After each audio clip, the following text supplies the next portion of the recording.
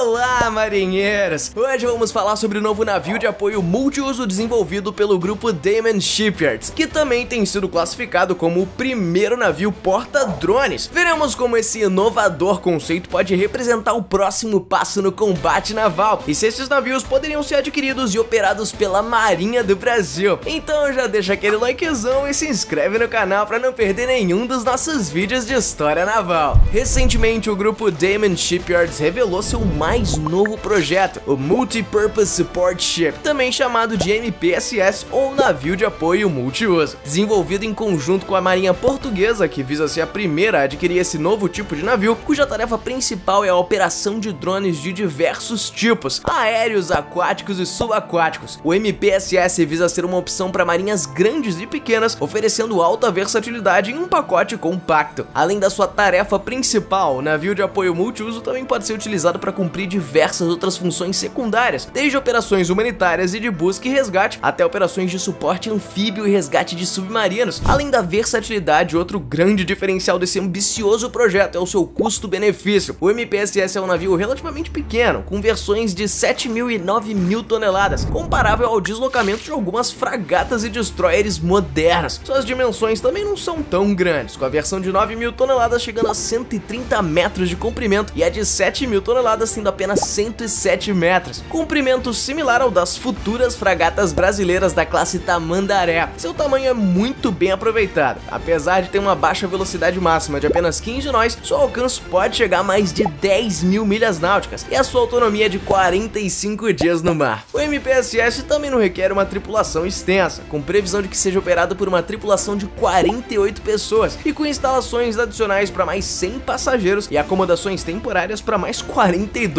Com a sua capacidade de operar drones em missões de combate e vigilância, versatilidade para realizar outras tarefas, tamanho compacto, baixo custo de operação e facilidade de construção e manutenção, o navio de apoio multiuso promete revolucionar a indústria naval como uma unidade essencial para as marinhas modernas. A marinha portuguesa, que teve envolvida com o processo do desenvolvimento do MPSS, já encomendou sua primeira unidade e é provável que muitas outras nações sigam esse exemplo. O navio de apoio multiuso é uma grande inovação que incorpora novos aprendizados para oferecer uma solução adequada para os problemas da sua época, assim como aconteceu no passado com os encoraçados e depois com os porta-aviões. E se você quiser ver todo o potencial dos mais poderosos e inovadores navios das principais marinhas do mundo, inclusive os da marinha brasileira, a hora é agora. É só conferir essa dica especial que eu tenho para você. Já ouviu falar de um incrível jogo de batalha naval? E a melhor parte é que é 100% gratuito, aprovado por milhões de jogadores ao redor do mundo e com uma comunidade brasileira ativa. E se você clicar no link da descrição abaixo, vai receber um pacote de boas-vindas exclusivo que inclui o lendário cruzador brasileiro Almirante Barroso, dois navios impressionantes, o poderoso encoraçado New York e o ágil contra-torpedeiro Mutsuki, além de muitas outras recompensas para você construir sua própria frota com navios de todos os tipos, inclusive submarinos. Não fique de fora, chame seus amigos e aproveite essa oportunidade incrível. A eficácia comprovada dos drones nos conflitos modernos é algo que vem sendo estudado por muitas nações, inclusive o Brasil, que já tem investido nessa área. Para a Marinha do Brasil, a possibilidade de operar uma unidade como o navio de apoio multipropósito da Damen poderia ter um impacto significativo na sua capacidade operacional. Por mais poderoso e simbólico que um porta-aviões convencional possa ser, a realidade é que esses navios requerem um grande investimento para serem adquiridos e operados, drenando recursos de uma marinha como a do Brasil, que atualmente não os possui. Ainda assim, a vantagem de se poder utilizar aeronaves como parte do arsenal ofensivo de uma marinha